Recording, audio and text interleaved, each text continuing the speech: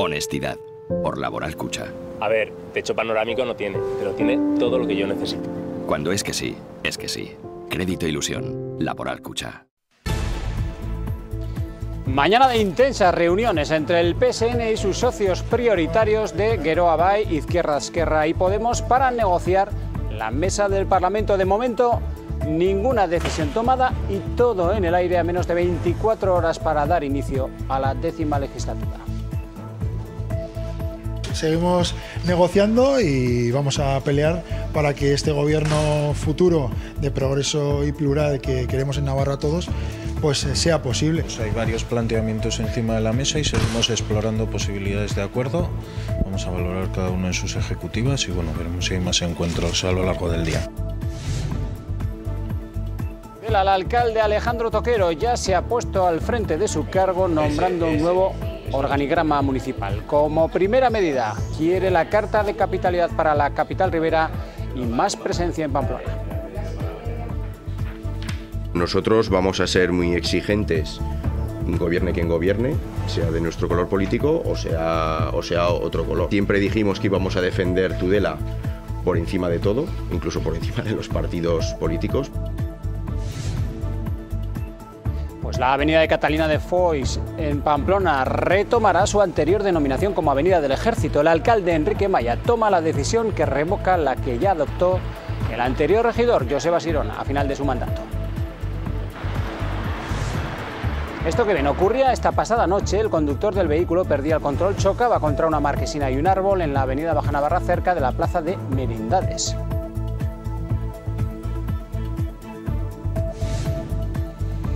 Y esto que ven está ocurriendo en la calle Tafalla de Pamplona también, en su confluencia con Carlos III. Es una obra de ingeniería y de arquitectura, desde luego poco habitual. Lo que se está colocando encima de ese edificio son pisos prefabricados.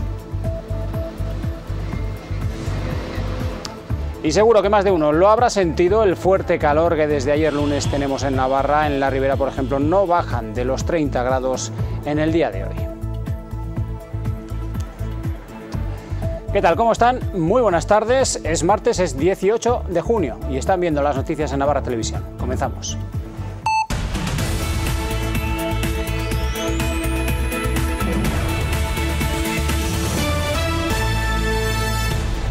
Pues a menos de 24 horas para que se tenga que constituir la mesa del Parlamento Foral, sigue sin haber acuerdo. Tras una nueva reunión entre PSN Gueroaba y Podemos Izquierda Esquerra, los representantes de las formaciones dicen que seguirán negociando en las próximas horas.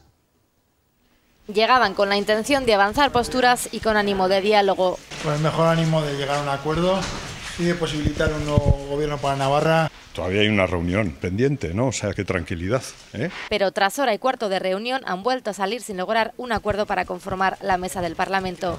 Seguimos, seguimos negociando y vamos a pelear para que este gobierno futuro de progreso y plural que queremos en Navarra todos pues eh, sea posible. Y por eso pues vamos a seguir hablando, seguir dialogando y seguir negociando. No vamos a hablar nada más porque las negociaciones están abiertas y por lo tanto será posteriori cuando digamos lo que tenemos que decir.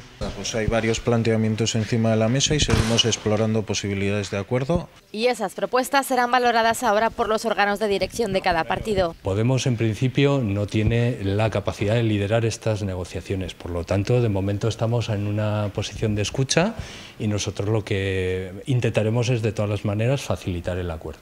Terminamos, seguimos comentando y seguiremos hablando. Esperemos que lleguemos a buen puerto.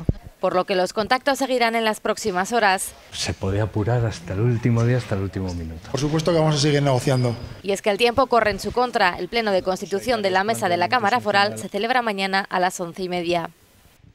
Todo en el aire. Por tanto, para la conformación de la mesa del Parlamento se miden fuerzas, se buscan acuerdos, pero de momento muchas incógnitas de las que saldremos de dudas mañana en un programa especial que van a poder seguir en directo aquí en Navarra Televisión a partir de las 11 menos cuarto. Nos vamos hasta el Parlamento de Navarra, donde hay muchas cosas en juego. Ainhoa Hernández, adelante, buenas tardes, cuéntanos. Sí, mañana va a ser un día clave para la conformación del futuro gobierno de Navarra porque aquí, en este salón de plenos, se va a elegir al nuevo presidente o presidenta de la Cámara Foral. Va a ser mediante votación secreta por papeleta y saldrá elegido o elegida aquel que tenga el voto de la mayoría absoluta, es decir, de al menos 26 de los 50 parlamentarios que conforman esta Cámara Foral. De no ser así, si nadie consigue ese resultado, se volvería a repetir la votación entre los dos candidatos que hubieran eh, obtenido mayor representación y saldría el que mayor número de votos obtendría.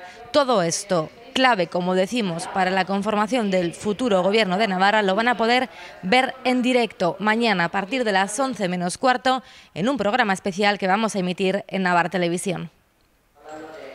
El primer pleno de cada legislatura sirve para que parlamentarios y parlamentarias juren o prometan sus cargos y para escoger a los cinco miembros de la mesa, el órgano que dirige el día a día de la Cámara.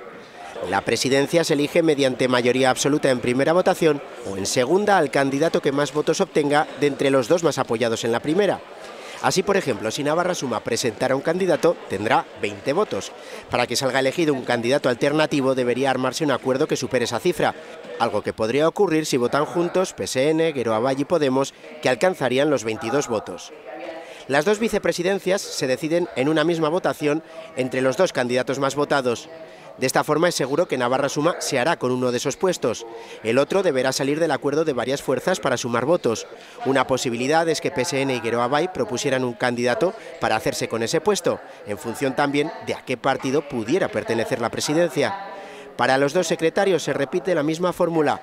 Y aquí podría ocurrir lo mismo que con las vicepresidencias, o que Gueroa Bay optar en este caso por votar a un candidato de H. Bildu para que tenga presencia en la mesa. A partir de entonces, la presidencia se reunirá los próximos días con los portavoces parlamentarios para sondear sus intenciones de cara a una sesión de investidura que elija la presidencia del gobierno foral. Todo dependerá, en principio, de la marcha de las negociaciones que mantiene el PSN. Si María Chivite da el paso y se presenta a la elección, se celebrará un pleno en el que deberá conseguir la mayoría absoluta, 26 votos, para ser proclamada presidenta. Si no, al día siguiente, en otro pleno, necesitaría mayoría simple, es decir, más sí es que no es. Es aquí donde entran en juego las abstenciones. Si consigue 23 votos favorables, solo le valdría que H. Bildu o Navarra Suma no se opusieran. A día de hoy parece complicada cualquiera de esas dos posibilidades. Si el intento de la socialista fracasa, habría que esperar si algún otro candidato se presenta. El plazo es el 26 de agosto. Sin presidencia del Gobierno para esa fecha, se convocarían de manera inmediata nuevas elecciones, que se celebrarían a finales del mes de octubre. Esta noche a las diez y media entrevista al nuevo alcalde de Pamplona, Enrique Maya. El sábado recibió la medalla de alcalde y la vara de mando de la ciudad. Y este martes recibe al programa Cara a Cara en el Salón de Plenos del Ayuntamiento de Pamplona. Roberto Cámara entrevista a partir de las diez y media de la noche al nuevo alcalde Enrique Maya. Navarra Televisión, la televisión de Navarra. Por cierto que el próximo 3 de julio de este, el próximo 3 de julio en Pamplona se va a celebrar el primer pleno municipal. Enrique Maya, que dijo que una de sus primeras medidas iba a ser revertir el nombre dado por el exalcalde Asirón a la Avenida del Ejército, por el de Catalina de Foix. Ha tomado ya esa decisión. Esta vía principal del centro volverá a tener el nombre original, Avenida del Ejército. La decisión ya se ha comunicado a la Junta de Portavoces, que se ha celebrado esta mañana, la primera, tras la toma de la vara de mando de la ciudad, la reina Catalina de Foix volverá a denominar el espacio que ya se otorgó en octubre de 2016 en el entorno del Archivo General de Navarra, ha indicado el propio ayuntamiento en una nota. En Tudela, el nuevo alcalde, Alejandro Tojero, ha presentado el nuevo organigrama municipal con cuatro grandes áreas y ha pedido los informes de los servicios que Tudela presta a toda la ribera para pedir cuanto antes la, la Carta de Capitalidad. Quiere que la comarca tenga más peso en la política regional. El nuevo alcalde de Tudela trabaja ya desde su despacho del ayuntamiento, donde está tomando posiciones tres días después de acceder al cargo. Entonces te voy a pasar la llamada. Bueno, Toquero trabaja ya junto a todo su equipo y hoy ha presentado el organigrama municipal en su primera rueda de prensa, acompañado por Merchañón, que será la portavoz municipal y concejala de Cultura. Han presentado un consistorio que tendrá cuatro grandes áreas y que podría ser reconfigurado en los próximos meses. Más adelante le daremos una vuelta a la estructura y al organigrama lo que sí tiene decidido Toquero es que Tudela debe tener más notoriedad en el conjunto de Navarra. Que el alcalde de Tudela tiene que tener más presencia en Pamplona para, para reivindicar lo que creemos justo para, para, esta ciudad y para, y, para, y para la merindad y para la ribera, como Tudela es, siendo Tudela su capital. Trabajará de hecho para conseguir cuanto antes se pueda la carta de capitalidad para la ribera a la espera de que se configure el futuro gobierno, dice que reivindicará para su ciudad, sea quien sea quien ostente la presidencia. Nosotros vamos a ser muy exigentes, gobierne quien gobierne, sea de nuestro color político o sea, o sea otro color. Nosotros eh, siempre dijimos que íbamos a defender Tudela por encima de todo, incluso por encima de los partidos políticos. Mi abuelo tenía un huerto en la Mejana humilde, humilde hasta más no poder. Una de sus primeras decisiones como alcalde ha sido colgar en su despacho este cuadro propiedad del ayuntamiento, obra en la que hace décadas el famoso pintor tudelano Miguel Pérez Torres retrató curiosamente a su bisabuelo Javier saliendo de la huerta. Hasta ahora el cuadro se encontraba en los pasillos del consistorio y el alcalde ha decidido colocarlo junto a su mesa. Dice que ahora hay dos toqueros en la alcaldía.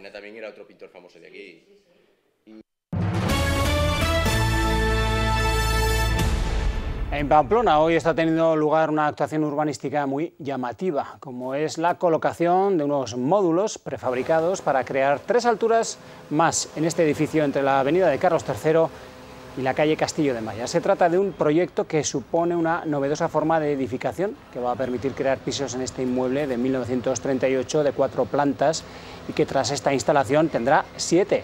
El edificio está rehabilitado, está siendo rehabilitado en su totalidad para adaptarse a esta nueva edificación, una llamativa forma de edificabilidad que incluso permite a los vecinos del inmueble permanecer en sus viviendas mientras se está ejecutando. Y eso que ven ocurría esta pasada noche en Pamplona. El conductor del vehículo perdía el control e iba a parar contra la marquesina y un árbol en la avenida de la Baja Navarra, cerca de la plaza de Mirindades. Ha sido denunciado por conducción temeraria y se le ha retirado el del carnet de conducir se le han retirado seis puntos, daba negativo en la prueba de alcohol y drogas. Los empresarios del sector del transporte en autobús en Navarra se están reivindicando, creen que está infrautilizado este servicio pese a la infraestructura existente y el hecho de que sea una solución eficiente y sostenible para el transporte regular escolar, laboral y turístico, también de excursiones que además garantiza, dicen, la cohesión social. Lo han asegurado en la presentación de un informe que habla de más de 6 millones de viajeros que se trasladaron en el pasado año 2018 con 614 vehículos de 41 empresas que dan empleo a 673 conductores. Es clave la agilidad en la prestación del servicio. Creemos que las ciudades tienen que cambiar el planteamiento y facilitar la agilidad de los medios de transporte colectivo por medio de eh, la prioridad semafórica y la no limitación en las zonas de acceso controlado. El calor aprieta en las últimas horas en Navarra, llegan las primeras alertas, la zona sur de la comunidad foral está en aviso amarillo por altas temperaturas. Vera Villafranca se encuentra en Tudela. Vera, adelante, buenas tardes, cuéntanos. Efectivamente, buenas tardes. Primera alerta por calor y parece que las altas temperaturas, siendo las primeras que se sufren este 2019, se dejan sentir todavía más. A esta hora ya se superan con creces los 30 grados aquí en Tudela y en toda la ribera y se espera que el mercurio alcance o supere los 37 a lo largo de esta jornada. Esta noche también va a ser especialmente cálida porque los termómetros no van a bajar de 21 grados de temperatura. Eso sí, mañana habrá una pequeña tregua, se alcanzarán en torno a los 33 grados y ya el jueves se desplomarán por debajo de los 30 grados, una temperatura más agradable que la que tenemos hoy. Se alerta de que hay que mantener las precauciones habituales en estos casos y el Gobierno de Navarra recuerda que el año pasado 25 personas sufrieron en Navarra las consecuencias del calor intenso, hubo un fallecimiento y ocho personas sufrieron esas condiciones de calor mientras estaban trabajando, por lo que se recomienda evitar la exposición solar en las horas centrales del día y aguantando este calor que más adelante vamos a tener más. Pues, pues, pues vamos de un extremo a otro, de, de, de, invierno, de tener frío a verano, es, un, es una cosa, bueno, que hoy el frío frío, hoy, hoy demasiado de calor. Pues en las sombras está mejor y con ropa ligera. Yo bien, yo me pongo un gorro, como tengo que ir a comer a casa de la hija, me pongo un gorrete, ¿eh? ya está y soluciono el problema. Si no, no salgo. Pues tampoco es muy, muy allá, la verdad. Se está bien aún con este tiempo. ¿Y si mi hijo que no para nunca causa un daño sin querer y nos ponen una reclamación? ¿Y si un día por lo que sea me quedo fuera de casa y luego ya no puedo entrar? Sí. Sí. También en Seguro somos la respuesta. Porque todo es más seguro si estás cerca. Caja Rural de Navarra.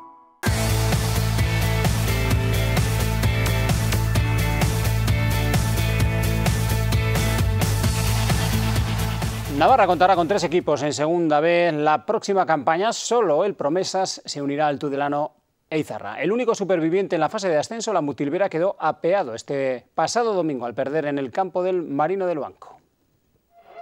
La Mutilvera acudió al campo del Marino del Banco consciente de que un empate con goles les clasificaba para la final de la fase de ascenso a Segunda B. Sin embargo, el partido se puso cuesta arriba a las primeras de cambio con este buen pase a la espalda del lateral y el penalti cometido por el mismo que transformó el Marino en el minuto 5. Parece que parte de fuera de juego, luego el penalti es claro ¿eh? y pues bueno, pero no pasa nada, 1-0, el partido estaba totalmente igualado, dispusimos luego de tres ocasiones muy claras para empatar y el empate nos daba el pase. El técnico del conjunto navarro pedía cabeza, pues a pesar del mazazo, la Mutilvera necesitaba tan solo un gol para clasificarse algo que rozaron en esta acción de Iván Martínez.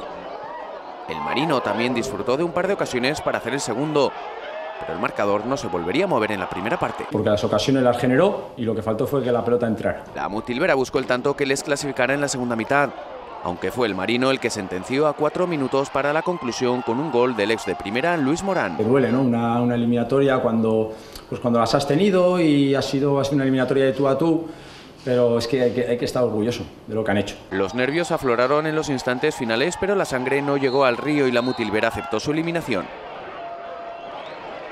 El Frontón Labrit va a coger durante los próximos Sanfermines la edición 45 del torneo de pelota mano. Seis parejas divididas en dos grupos optarán a la chapela en uno de los torneos veraniegos más importantes.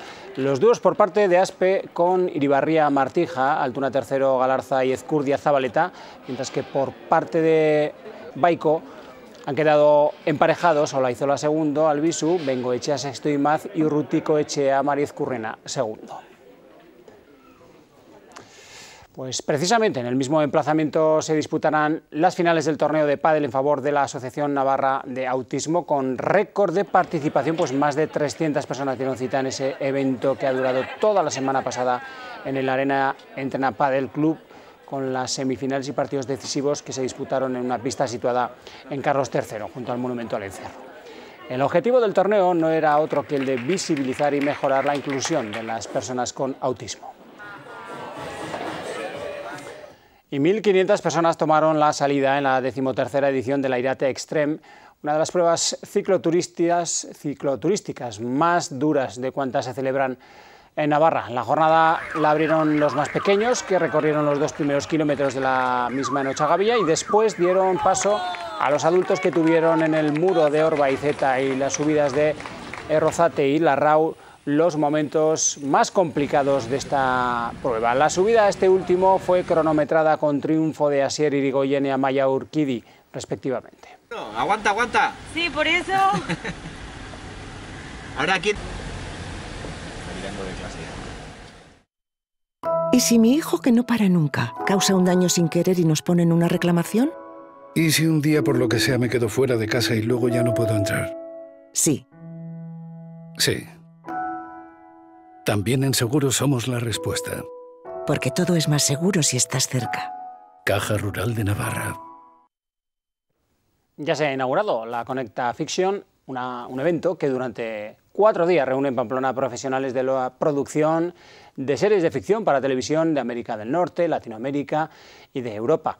Italia y Chile, como países invitados, serán anoche los protagonistas de esta gala de apertura. Su inauguración congregaba en el Teatro Gallarre representantes de productoras, televisiones o plataformas a nivel nacional e internacional.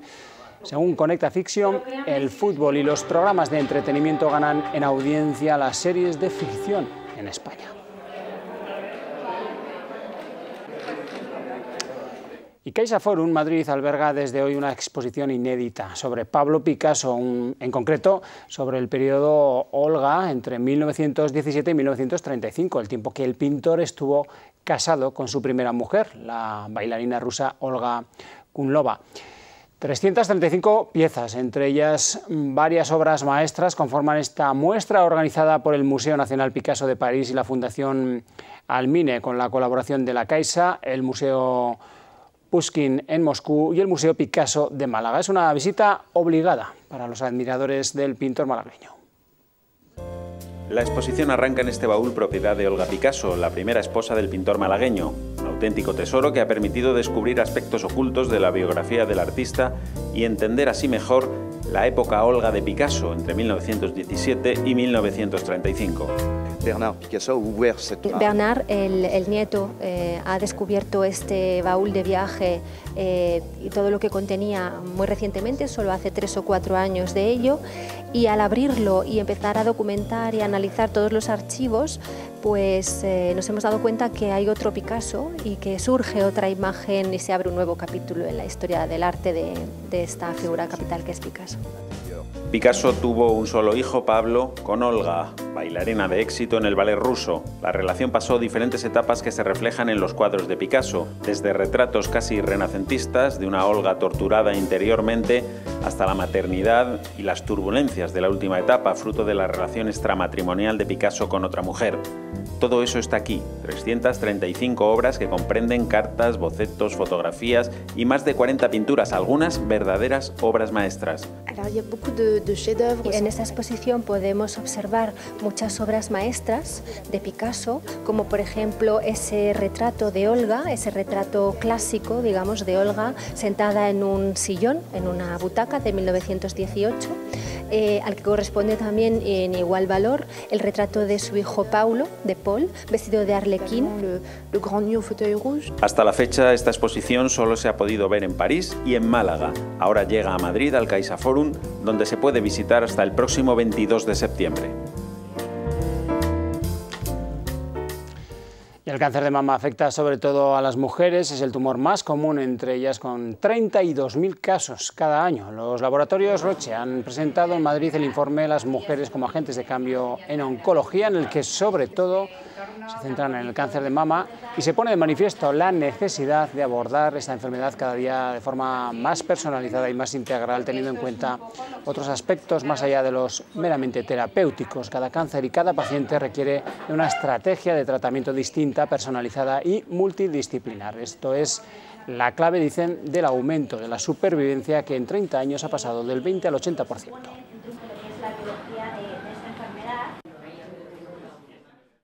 Secuelas eh, psicológicas, secuelas de la quimioterapia, de la radioterapia, incluso de la propia cirugía. Eh, y yo creo que tiene que haber el apoyo por parte de todos eh, para que estas mujeres puedan reincorporarse a, a, su vida normal y puedan volver a hacer las cosas que hacían anteriormente. Tenemos cifras de más del 90% de mujeres sin enfermedad tras cinco años de diagnóstico y hemos ido incrementando eh, la supervivencia de cáncer de mama. Pequeños pasitos cada día hacen que al final sean grandes porcentajes de mujeres curadas. Este pasado sábado fue el gran homenaje de toda la ciudad de Pamplona a la pamplonesa, un acto en la Plaza de Toros que llenó en las gradas y la presencia de 3.000 músicos. La comparsa también puso su granito de arona. Junto a la banda municipal interpretó uno de los bailes que suelen verse en la plaza del ayuntamiento durante los Sanfermines, con la dominguera nos vamos. Que pasen una feliz tarde.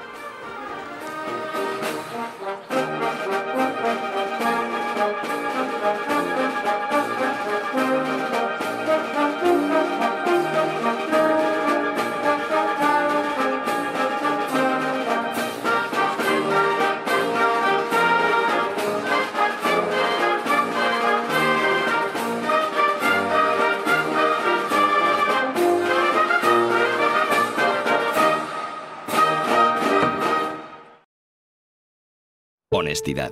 Por Laboral Cucha. A ver, techo panorámico no tiene, pero tiene todo lo que yo necesito.